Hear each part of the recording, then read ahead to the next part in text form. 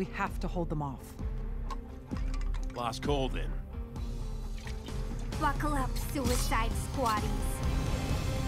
Today's the day we earn our name.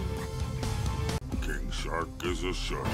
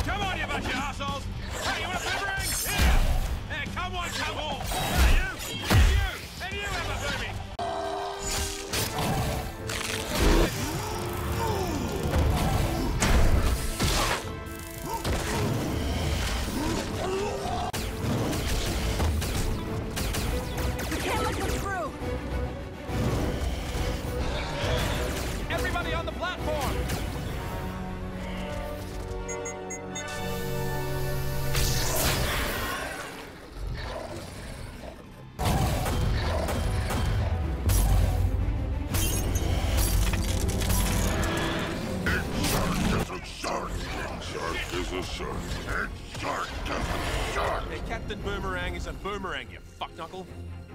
It's been an honor to fight by your side. Are you shitting me?